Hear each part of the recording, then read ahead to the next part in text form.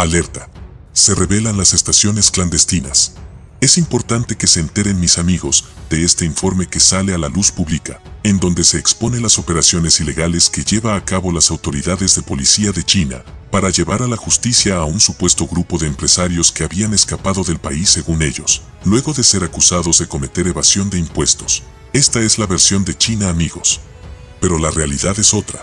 La policía del Partido Comunista Chino coordina 110 comisarías ilegales internacionales en 54 países del mundo, desde las que ejercen presión para sacar información del país donde se encuentran estos ciudadanos exiliados o disidentes. Dentro de este informe se afirma que una de estas comisarías clandestinas está situada en Buenos Aires, Argentina. Esto ha provocado críticas de grupos de derechos humanos que dicen que la policía del partido está infringiendo los derechos de las personas.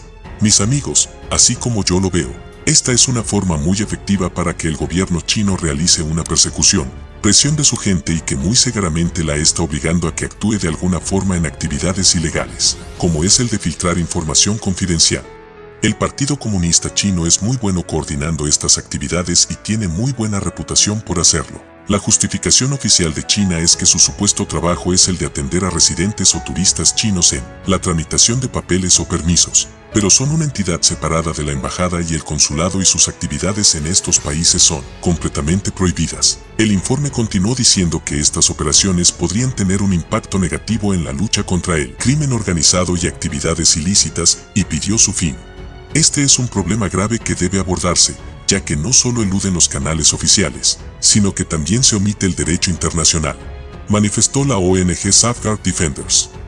Mis amigos, estas comisarías clandestinas están en todas las principales capitales del mundo, en todos los continentes, y las más importantes se ubican en Nueva York, Londres, Dublín, Viena, París, Roma, Frankfurt, Madrid y Barcelona, pero también hay en Río de Janeiro, Sao Paulo, Buenos Aires, Tokio y decenas de países más.